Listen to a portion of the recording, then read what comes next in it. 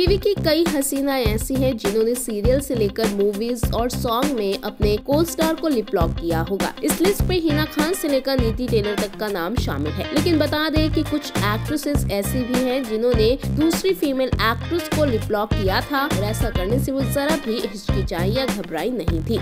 Soundarya Sharma Sreejita De. Big Boss 16 में हाल ही में सौंदर्या शर्मा और श्रीजिता डे ने मस्ती मज़ाक के बीच एक दूसरे को लिपलॉक किया। उनकी इस हरकत से अब्दुल रोजिक और शिव ठाकरे भी हैरान रह गए थे। निया शर्मा, रेहाना पंडित। निया शर्मा और रेहाना पंडित ने एक इवेंट के बाहर कैमरे के सामने एक दूसरे को लिपलॉक किस किया था। अपनी इस हरकत के लिए निया और रेहाना काफ़ी ट्रोल भी हुई थी। कायनाज परवीज, राखी सावंत। राखी सावंत और मीका सिंह की किस के बारे में तो हर कोई जानता है। लेकिन बता दें कि एक पार्टी के दौरान राखी ने कायनाज के साथ भी लिप लॉक किस किया था। उनकी ये किस खूब सुर्खियों में रही थी। रिद्धि डोगरा, मोनिका डोगरा। रिद्धि डोगरा ने सीरीज़ द मैरिड वुमेन में मोनिका डोगरा के साथ न केवल इंटीमेट सीन दिए बल्कि उनके साथ एक ब्लॉक किस भी किया। एक्ट्रेस ने इंटरव्यू में कहा था कि एक गर्ल के साथ इंटीमेट सीन करना ज़्यादा कंफर्टेबल होता है। सारा खान प्रत्युषा बैनर्जी।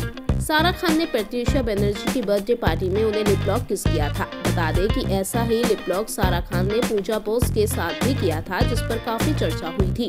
मौनी रॉय, संजीदा शेख। मौनी रॉय, संजीदा शेख एक दूसरे की काफ़ी अच्छी दोस्त थी, लेकिन दोस्ती की हद तक पार हो गई जब दोनों ने एक दूसरे को लिपलॉक किस किया था। Sayesha Shinde, Mandana Karimi. Saisha और मंदाना ने लॉकअप में रहते हुए एक दूसरे को किस किया था। दोनों इस बात के लिए जमकर ट्रोल भी हुई थी।